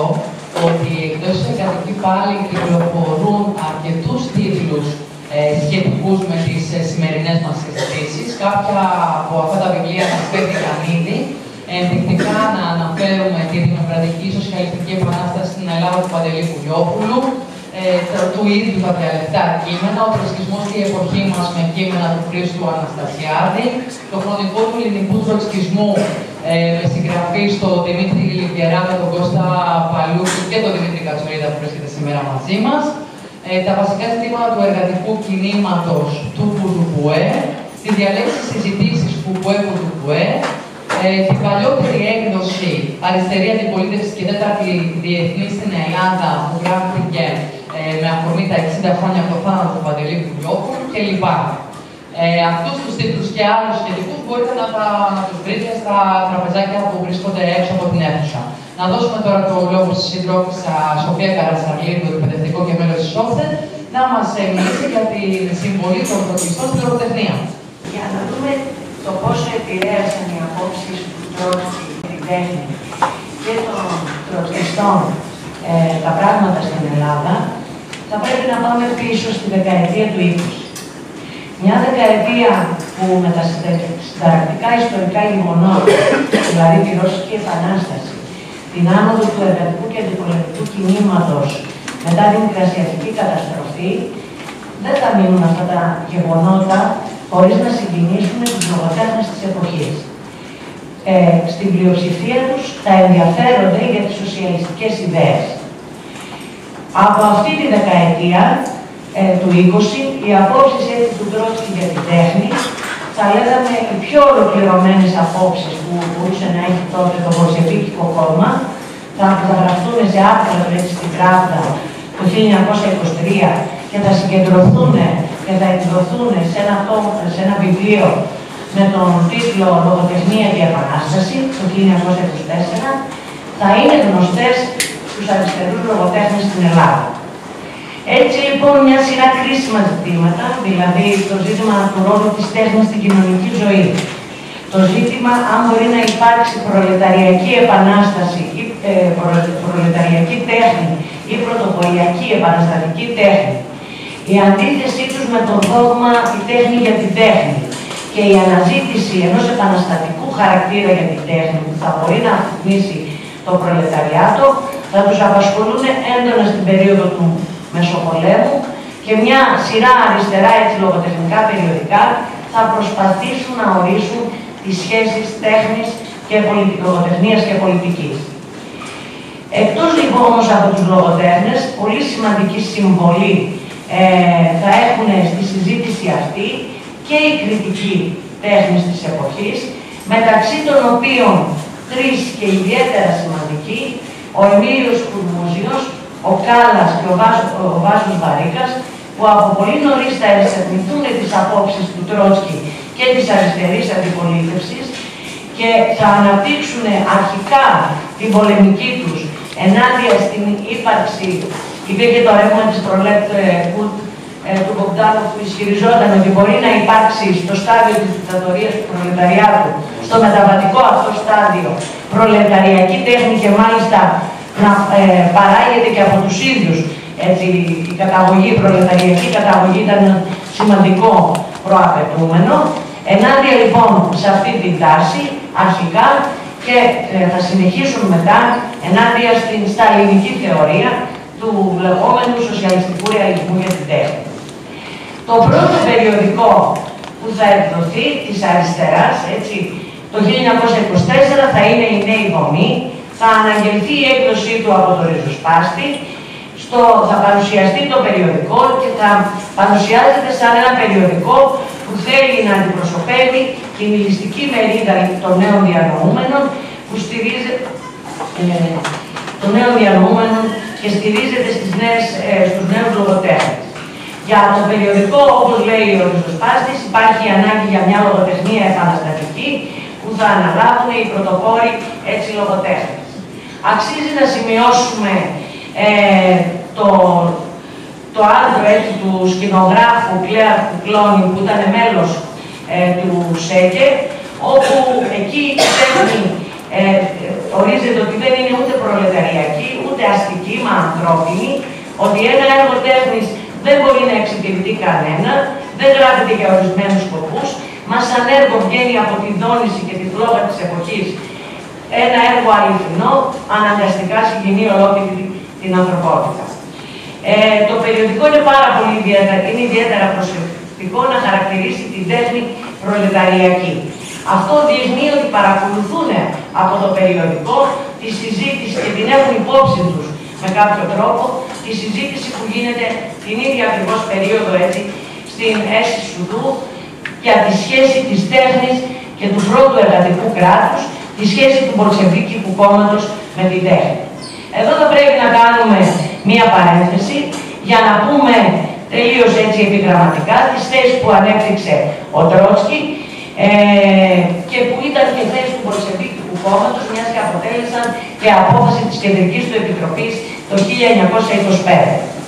Το πρώτο σημείο στις θέσεις του Τρότσκι είναι ότι δεν μπορεί να υπάρχει καμιά διοικητική παρέμβαση του εργατικού κράτους ή του Πολσεβίκικου κόμματος στην καλλιτεχνική δημιουργία. Υπάρχει λοιπόν η ανεξαρτησία της τέχνης.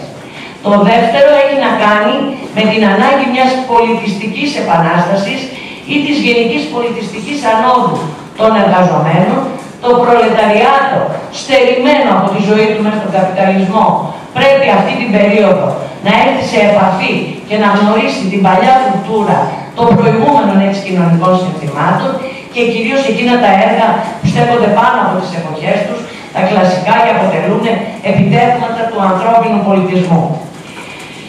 Ε, με αυτή την έννοια η ηγεσία του Μοσεβίκου κόμματος και ο Τρόκσκι στέκεται αντίθετο στα διάφορα ρεύματα είτε της αριστεράς είτε της προλέτικου που ε, διαγράφανε όλη την προηγούμενη την παλιά κουλτούρα ως αστική, φεουδαρχική ε, και πάλι λέγοντας.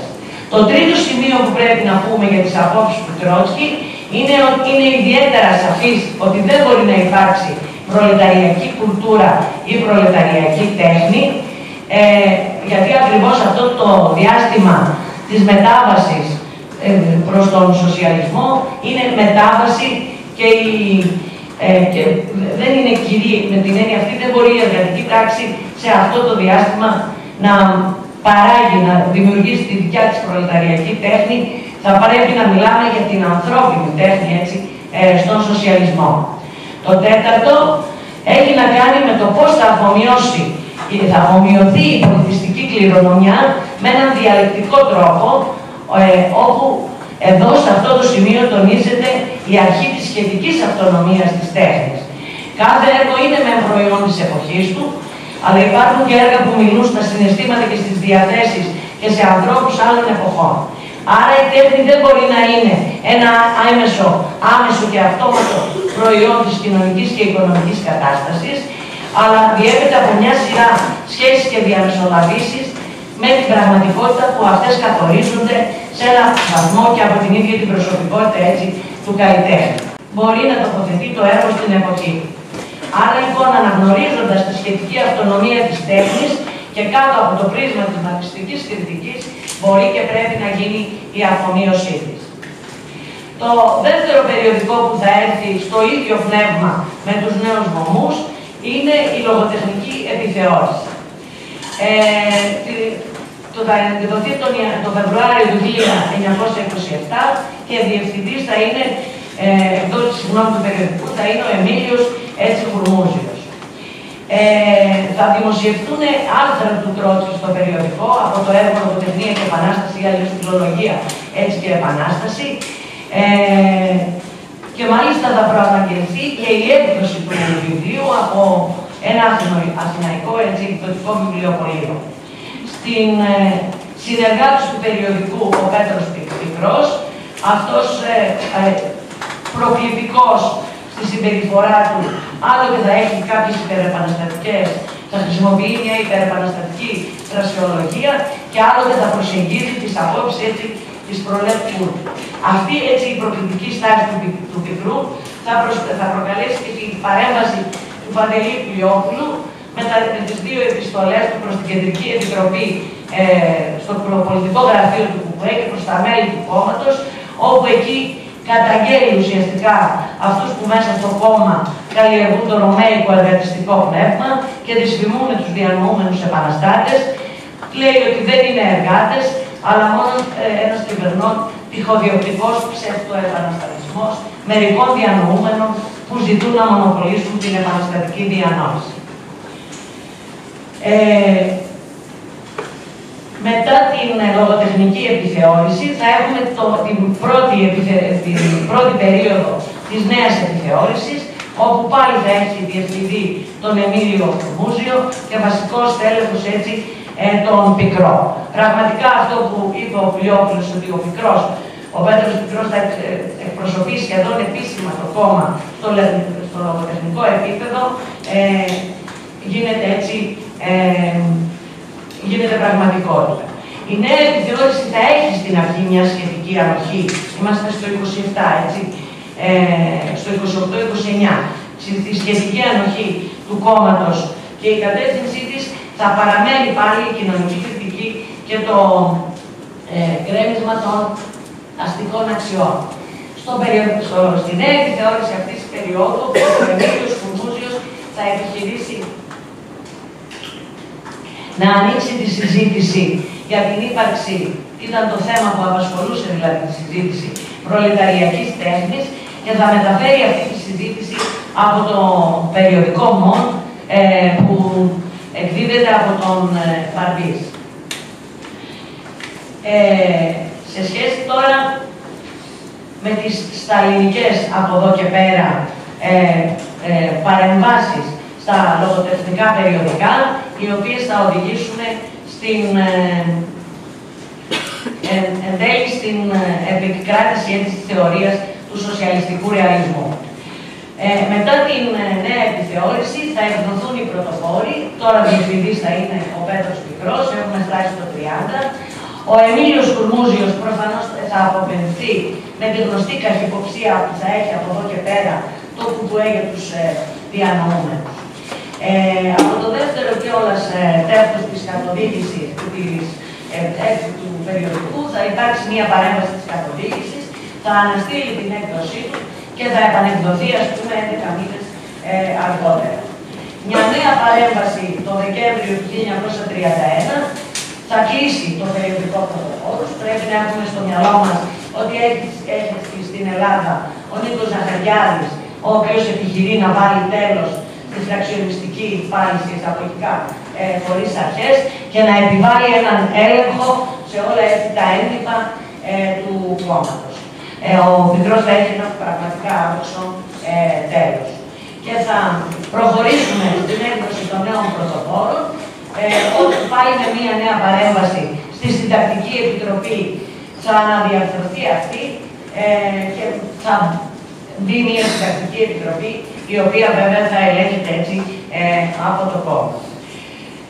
Ο... Θα επαναφέρουν μέσα από τους νέους πρωτοπόρους του 1932 την συζήτηση για το αν υπάρχει προλεταριακή τέχνη. Τη δουλειά αυτή τη φορά θα την αναλάβει ο Νίκος Κατηφόρης. Εδώ λοιπόν θα έχουμε τη θεωρία, τη λεγόμενη θεωρία του σοσιαλιστικού ρεαλισμού να προσπαθεί να εμπεδοθεί, ότι η τέχνη είναι ένα φαινόμενο κοινωνικό, είναι μια άμεση αντανάκλαση της πραγματικότητας, υπάρχουν δύο τάξεις στην πραγματικότητα, άρα θα μπορεί να υπάρξει αστική τέχνη και τέχνη προλεταριακή. Είναι λοιπόν, ε, έχει με την πραγματικότητα η τέχνη μια αμεσότητα, μια άμεση σχέση, είναι σαν μια θεωρία έτσι του καφέ. Άρα λοιπόν ε, μπορούμε να έχουμε ε, προλεταριακή τέχνη, ε, ο ρεαλισμός είναι η μορφή της ε, προλεταριακής τέχνης. Σε αυτό λοιπόν θα επανέλθει ε, ο Εμίλιος Κουρμούζιος, τώρα βέβαια από το περιοδικό ε, νέα επιθεώρηση που εκδίδει ο ίδιος και ε, προφανώς ε, έχει να κάνει, χαρακτηρίζεται ας πούμε το σκίζον, όπου θα, θα αντιπαρατεθεί με αυτή τη θεωρία όπως επίσης και ο Κάλλας ε, μέσα από τους πρωτοπόρους, όπου θα πρέπει να ε, λέει προς το κόμμα να, να αναγνωριστεί η πολιτική ιδιαιτερότητα των διανοούμενων, ότι το κόμμα με αυτόν τον τρόπο τραβιέται μακριά από τους διανοούμενους, αναιρεί ότι με έναν έμεσο τρόπο η προλεταριακή καταγωγή αποτελεί το εχέγγυο για να υπάρχει ας πούμε προλεταριακή τέχνη. Ε, και βέβαια τονίζει την αυτονομία της τέχνης, αλλά και την ίδια την προσωπικότητα ε, του καλλιτέχνη.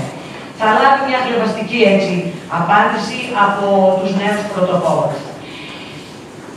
Ε, θα πρέπει να πούμε ότι οι εξελίξεις για να εδραιωθεί έτσι εδώ η, ο σοσιαλιστικός ρεαλισμός θα τις ολοκληρώσει ο Κλινός μαζί με τον Ζέρκο, ο οποίος ήταν ο κομματικός, ας πούμε, μέσα στη σύνταξη του περιοδικού.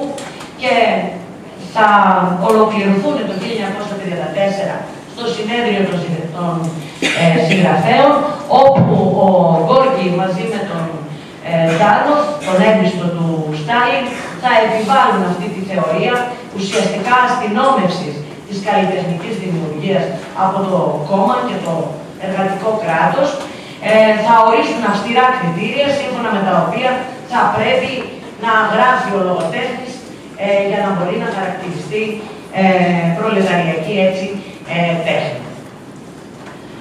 Για να...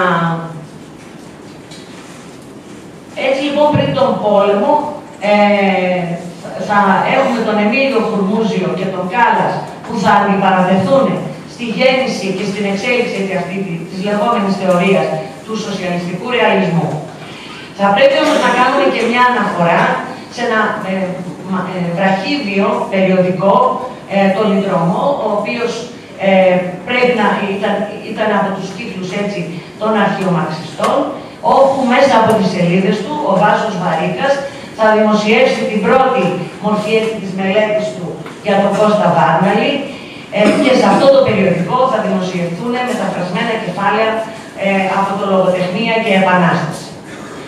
Ε, για να έρθουμε μετά τον πόλεμο, θα πρέπει να πούμε ότι η συμβολή των ε, τροτιστών κριτικών της λογοτεχνίας μετά τον πόλεμο είναι επίσης σημαντική, με τον Μανώλη Λαμπρίδη να κατέχει, ας πούμε, εξέχουσα θέση. Ε, θα εμφανιστεί με το σημαντικό άρθρο του Ιλγκράν Ριφιούτο, Καβάθης, Βάρναρης, Καρδιωτάκης και Παρακμή. Θα δημοσιευτεί αυτό το άρθρο ε, στις ε, σελίδες του, της επιθεώρησης τέχνης, ένα περιοδικό το 1955, ένα περιοδικό που βρισκόταν στον κύκλο της ΕΔΑΚΟΚΟΕ, όπου θα πατήσει στον ε, Παπαϊωάννου, ε, ο, ο οποίος αναδεικνύοντας τις ε, βεβαιότητες έτσι, του σοσιαλιστικού ρεαλισμού, της θεωρίας του σοσιαλιστικού ρεαλισμού και με αυστηρά κριτήριά του, θα κρίνει ε, τους δύο ποιητές, τον Καβάφη και τον Καριωτάκη, ως προϊόντα και εκφραστές της παρακμής της αστικής τάξης, ε, με το άρθρο του ο Μανώλης Λαμπρίδης θα τονίσει ότι το όχι που είπαν οι δύο ποιητές απέναντι στην παρακμή, όχι απλά της αστικής τάξης, αλλά η παρακμή μπορεί να είναι και παρακμή του συνόλου έτσι, ε, της, ε, του κόσμου και της κοινωνίας, του κόσμου, ε, δεν μπορούν να προφανώς να ενταχθούν, να χαρακτηριστούν εκφραστές έτσι, της αστικής παρακμής. Κάθε άλλο δίνει μια μεγάλη βαρύτητα στην ηθική ε, σημασία που έχει αυτό το όχι ε, ε, σε αυτούς τους δύο ποιητές. Θα εντάξει βέβαια και τον ε, Βάρναλη, ε, ακριβώς γιατί και αυτός ε, λέει, ενώ έχει έναν στόχο, ένα άλλο κοινωνικό σύστημα στο, στο μυαλό του, η πραγματικότητα της ίδιας του έτσι της τάξης δεν ε, ε, μπορεί να βοηθήσει την, την πραγμάτωσή του. Δηλαδή βρίσκεται σε μία απόσταση, αυτό που λέει, από την ίδια την πραγματικότητα της τάξης. Ε, θα συνεργαστεί ο Μανώλης Λαμπρίδης ε, με τα περιοδικά κριτική, ε, πολύ τακτικά με το περιοδικό του Κούδου, του Κούδου που έχει τη Σόπδε, το μαρξιστικό δελτίο, τον ε, λογοτέχνη, την εφημερίδα των ποιητών. Θα συμμετέχει έτσι στην έκδοση του περιοδικού μαρτυρίες ε, και στη συνέχεια αυτό με τα πολεμικά θα ονομαστεί σημειώσεις. Με τα πολεμικά το ρεύμα μας με το περιοδικό διανοούμενος, με την ευθύνη του οποίου είχε ο Στέφανος Χατζημιχελάκης, εκδόθηκε από τον Οκτώβριο του 1962 ως τον Απρίλιο του 1967 ε, είναι ουσιαστικά το λογοτεχνικό περιοδικό ε, του Κουδουκουέ. Ε, θα, δημοσιεύει, θα δημοσιευτούν σε αυτό άρθρα του Μαντέλ, του Παύλου, του Τρότσκι, του Κορδάτου, ε, του Μάριου Χάκα ε, και άλλων. Το μαρξιστικό δελτίο θα επηρεάζει και άλλους κριτικούς της λογοτεχνίας, ε, τον Λικιαρδόπουλο, τον Βαρίκα, ε, τον Λεωνίδα Κωνσταντινίδη. Ε, οι οποίοι αυτοί ε, θα, είτε θα συνεργάζονται με το μαρξιστικό δελτίο, είτε με τον διανοούμενο και θα εκφράσουν την αντίθεσή τους στους εγχώριους έτσι απολογητές του λεγόμενου σοσιαλιστικού ρεαλισμού. Απλά θέλω να το σημειώσετε για να μην μείνει αυτή η εντύπωση. Ε, αφορά την περίοδο της κατοχής και την ε, αντίσταση που υπήρχε εκείνα τα χρόνια. Δεν είναι ιστορικό, ιστορικό γεγονός ότι οι τροτσκιστές πήγανε στο ΕΑΜ. Δεν υπάρχει καμία απόφαση καμιάς ιστορικής οργάνωσης που να έλεγε ότι πρέπει να πάμε στο ΕΑΜ. Δεν υπάρχει καμία άποψη του Πουλιόπουλου που ζούσε ακόμα που λέει ότι έπρεπε να πάμε στο ΕΑΜ. Και ευτυχώς που δεν πήγαμε στο ΕΑΜ. Δεν θα μπορούσαμε να έχουμε ούτε αυτή την εκπλήρωση την οποία έχουμε σήμερα και να μιλάμε. Το αν πήγαν άτομα στο ΕΑΜ ή αν πήγανε αρχαιομαριστές στο ΕΑΜ είναι κάτι άλλο. Είναι μια προσωπική επιλογή. Δεν συνιστά ότι οι τροσκιστές πήγανε στο ΕΑΜ. Και αυτό πρέπει να το έχουμε, αυτή είναι η ιστορική αυτή. Και αποτελεί ακόμα και μετά την παρέμβαση της διεθνούς με εκείνο το γράμμα ή του Βιτσόρη που συνιστούσε ότι έπρεπε να πάμε στο ΕΑΜ, υπάρχουν αυτά τα κείμενα, αλλά καμία δραστηριοτική οργάνωση και το ΚΚΕΣ δεν δέχεται ότι έκανε λάθος. Δεν υπάρχει τέτοιο πράγμα. Ότι να υιοθετούν αυτό το πράγμα και να δέχονται ότι έκαναν λάθος. Μένουν στις απόψεις τις οποίες είχαν τότε. Προφανώς υπάρχουν κάποιες υπερβολές από τροτιστικές οργανώσεις γύρω από το τι ήταν το ΕΑΜ. Υπάρχουν κάποιες υπερβολές. Ωστόσο, και αυτές οι υπερβολές οι οποίες υπάρχουν εντάσσονται μέσα σε ένα κλίμα της εποχής. Σκοτώναν τον σύντροφό τους, τον πατέρα τους, τον αδερφό τους, με το πιο φρικτό τρόπο δικαιολογείται μια υπερβολή με τον πιο φρικτό τρόπο, επαναλαμβάνω, ή και με τον πιο ταπεινωτικό τρόπο, ας αφήσουμε τον φρικτό τρόπο.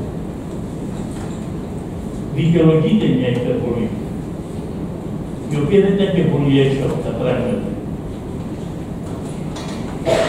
Και δεν μπορεί σήμερα μετά από τόσα χρόνια, όπου η ιστορία σε αρκετά μεγάλο βαθμό έχει αποκατασταθεί, δεν λένε όλοι το ΕΑΜ και μπράβο και τα λοιπά. Αλλά λένε ότι ήταν και ο νεκροθάτης της ιστορίας να λένε ότι οι πάση περιπτώσει πήγαν και οι τροτσκιστές στο ΕΑΜ. Δεν είναι αληθές αυτό το πράγμα. Τέλος πάντων, κλείνω σε αυτήν την παρένθεση γιατί δεν έχουμε χρόνο να επαναλαμβάνω. Ένα άλλο κομμάτι της συνεισφοράς των τροτσκιστών είναι πολύ σημαντικό επίσης, ή το σημαντικότερο αν θέλετε, πέρα από την ανάλυση του ελληνικού καταξισμού, είναι και η συνεισφορά στην μαρξιστική θεωρία. Είναι γύρω από τη συνεισφορά τους στο σοσιαλισμό και πώς πρέπει να είναι σοσιαλισμός και γιατί σοσιαλισμό παλεύει.